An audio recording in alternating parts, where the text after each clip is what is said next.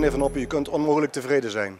Nee, ben ik zeker niet. Ik bedoel, uh, wij willen een integer bestuur in Brunsum. Een capabele mensen die zeg maar de kar trekken en die ook een, een, een imago van Brunsum hoog houden.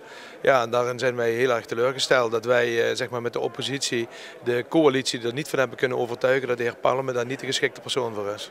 En hoe moet het nu verder hier in Brunsum? Ja goed, dit gaat afspiegelen op Brunsum. Dat betekent toch dat investeerders en anderen, uh, waar de heer Palme gewend is om af te geven, toch Brunsum misschien gaan mijden. En waardoor wij ja, minder aantrekkelijk worden. Dus ja, dit brengt voor Brunsum niets goeds.